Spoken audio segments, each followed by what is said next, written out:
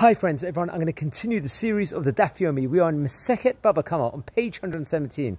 Naturally, Kuf Yud Zayin, and we're learning all about, friends, a Moseh in today's daf. We've all heard about a Moseh. Some people call it a Moisa or pronounce it different ways. But what was a Moseh? It was someone that will inform another Jew to another government with regards to something that is disclosed.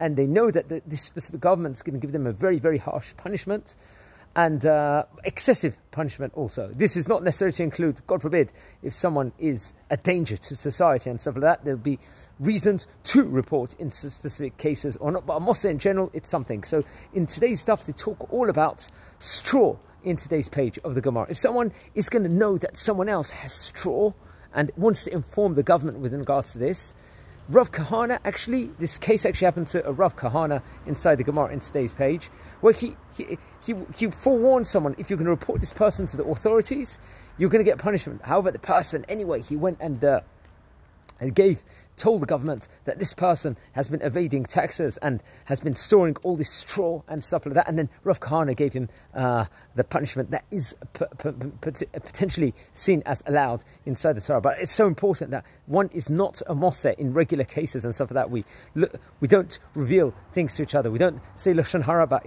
each other. We be careful about what we say and just good things. I'd like to wish you all a fantastic day.